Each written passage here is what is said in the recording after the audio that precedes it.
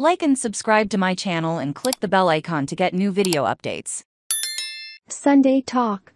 Christian McBride on New Music, The Need for Jazz Education in Sesame Street, an eight-time Grammy winner, Christian McBride is one of the most acclaimed jazz artists of this century. There's a reason readers of acclaimed jazz magazine Downbeat voted McBride Artist, Bassist, and Producer of the Year.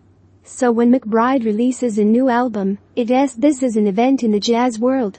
He and his New Jawn trumpeter Josh Evans, drummer Nasheet Waits and saxophonist and bass clarinetist Marcus Strickland, have just released their second collaboration together, Prime. Sage Bava, and I spoke to McBride about the new album, his advocacy for educating kids about jazz, why America lags behind many other countries in supporting the arts, and the essential albums for anyone trying to get into jazz McBride.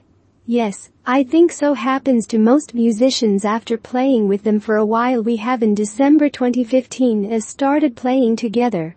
So this is our seventh year playing together, our seventh full year playing together. McBride. We found that out long before the record was made.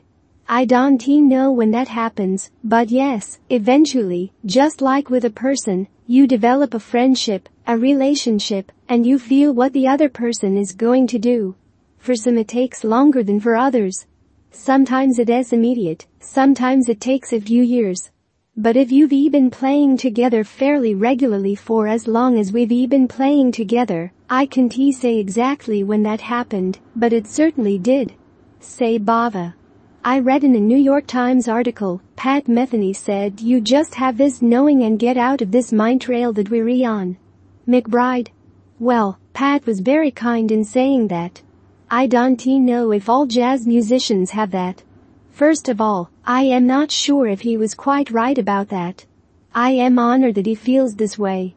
But yes, there are moments when I am looking at music or listening to music, and it can take some time for me to kind of record it, so I know what the right decisions are to make.